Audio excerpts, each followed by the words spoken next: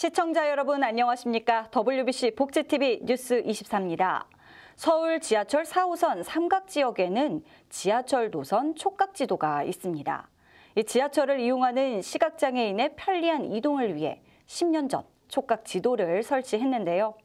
새롭게 추가된 역 이름과 노선 등을 담아 다시 제작했습니다. 정유정 기자입니다. 국내 유일하게 삼각지역에 설치되어 있는 지하철 노선 촉각지도는 많은 시각장애인에게 기대감을 안겼습니다. 저는 지하철을 타고 삼각지역에 가고 싶어요. 왜냐하면 지하철역에는 점자 유도 블럭이 잘 되어 있어서 가기에 문제가 없고 삼각지역에는 지하철 촉지도가 설치되어 있다고 하는 이야기를 들었어요.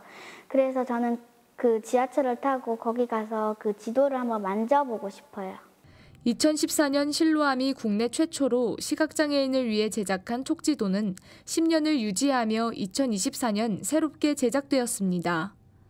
새롭게 제작된 촉지도는 새로 개통된 노선들의 역명과 바뀐 노선도의 디자인이 반영됐습니다. 가로 1.6m, 세로 1.1m의 대형 노선도로 각 노선을 입체적으로 표현해 시각장애인들이 손으로 만져보며 각 지하철의 노선 정보를 쉽게 파악할 수 있습니다.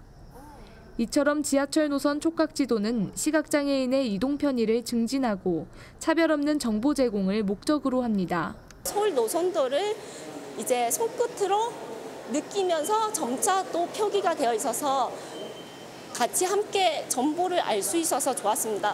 동그라미로 표시가 되어 있어 이 줄 가다가 동그라미 또 줄 가다가 동그라미 이렇게 되어 있어서 아 여기 동그라미는 정차역이 무슨 역이구나 이렇게 전 어, 표기가 되어 있어서 잘 알 수 있었고 음, 그리고 노, 마치 그 촉각지도 백과사전이라고 생각을 하게 되었습니다. 시각장애인은 촉지도를 이용해 자신이 원하는 역을 파악하고 시각장애인용 음성 유도기를 따라 목적지까지 이동합니다. 특히 삼각지역은 국립서울맹학교 의료전공 교육관과 가까운 위치에 있어 시각장애인들에게 필요한 노선 정보를 쉽게 전달하는 데 큰 역할을 할 것으로 기대됩니다.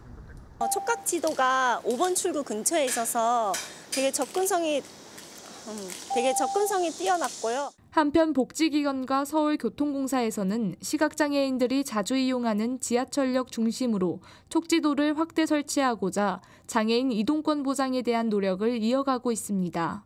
시각장애인 유동인구가 많은 그런 역사들에 먼저 설치되면 좋을 것 같은데 뭐 동천역이라던가 종로나 이런 곳들에 설치가 되면 좋겠고 추후로는 더 많은 곳들에도 갈 수 있었으면 좋겠습니다. 또 우리 서울교통공사뿐만이 아니라 전국의 지하철, 도시철도 이런 기관들이 많이 있지 않습니까?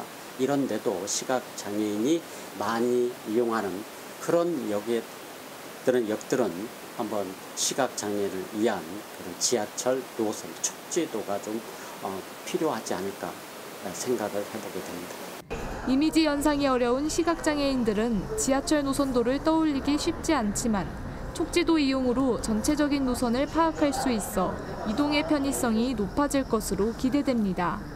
복지TV 뉴스 정유정입니다.